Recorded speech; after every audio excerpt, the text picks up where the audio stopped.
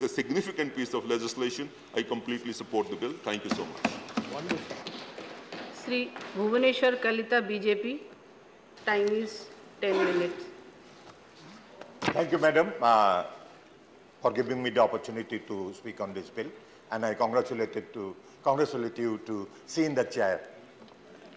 My heartiest congratulations.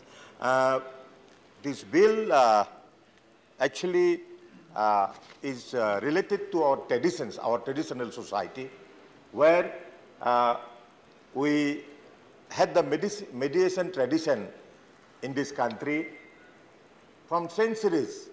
As we all know, it was strengthened by the panchayat system, and the in the panchayat, the elders, the village elders and the society elders sit and mediate things so that it, it doesn't, uh, and to keep harmony in the, uh, in the society. Later on, uh, the Britishers brought this mediation system to the judicial system, to the court system, but uh, over the years, because of uh, uh, the Singapore Convention on mediation, where India is a signatory, we had to uh, shift to the mediation system, and over the years, the mediation process has, has been revolutionized, and I congratulate the government led by uh, our other Narendra Modi and the minister concerned for bringing this bill, bringing this revolutionary uh, bill to revolutionize the judicial system, the judicial process in this country. Uh, Madam, the object of the bill uh, is to facilitate and promote mediation in India, particularly institutional mediation, uh, for the resolution of disputes, encourage community mediation, and make online mediation an acceptable and cost-effective process. Madam, uh, I, I, will I will not prolong my speech. I will be in the, within the limited time that has been given to me. But I must uh, highlight uh, the key, I, I must speak on the key highlights of this bill. One of the key highlights is domestic and international mediation of its application. The bill uh, defines domestic mediation as mediation conducted in India involving parties who reside, are incorporated, or have business in India, and where the mediation agreement states the application of Mediation Act 2021. It also recognizes international mediation involving commercial disputes with at least one party having a foreign connection.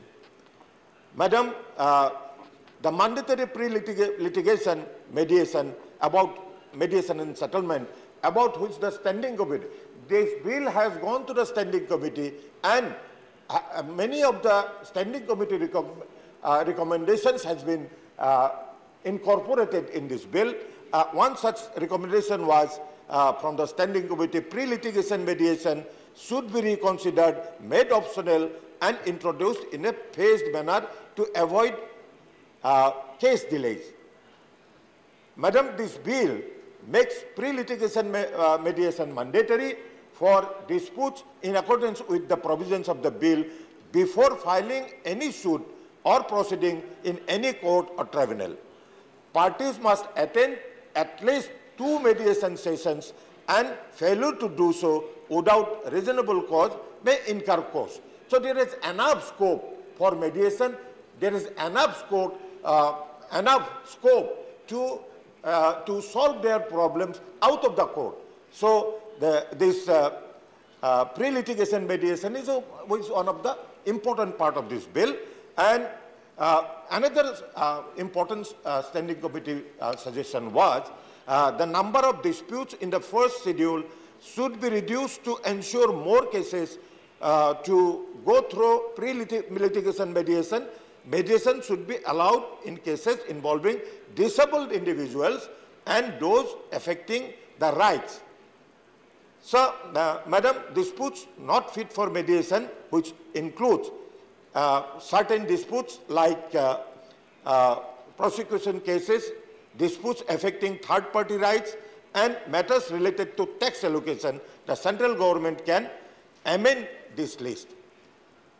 The mediation process and time limit about which the standing committee has said that a provision should be included in the bill for punishing breaches of confidentiality in mediation proceedings.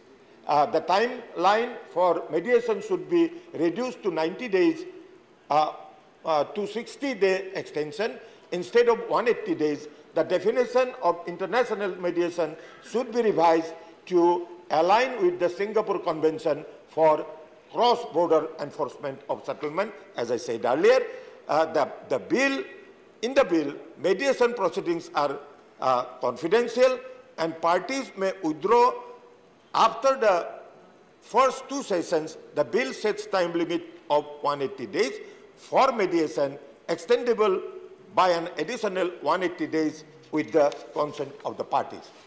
Madam, another very important uh, issue here in this bill is uh, the ground to challenge the mediated settlement agreement. Uh, as we know that there are many grounds because the settlement uh, between the parties may not be acceptable. Uh, so there are, uh, there, are, uh, there are challenges in mediated settlement. The mediated settlement agreement, including fraud, corruption, impersonation, and disputes not fit for mediation. So these, these are the excluding clause. And the, and the most important point is the recognition of institutional mediation. We have accepted it and uh, the, the, the, Mediation Council of India will regulate to uh, regulate these provisions.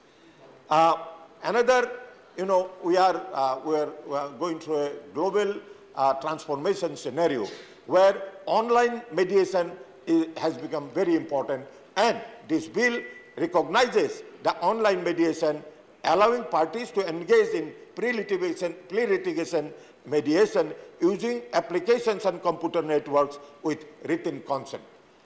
Madam, uh, the establishment of Mediation Council of India, which was also uh, suggested by the Standing Committee, the bill provides for, provides for media, media, uh, Mediation Council of India and the media, uh, uh, Mediation Council of India should be the sole authority to regulate all mediation service providers and institute.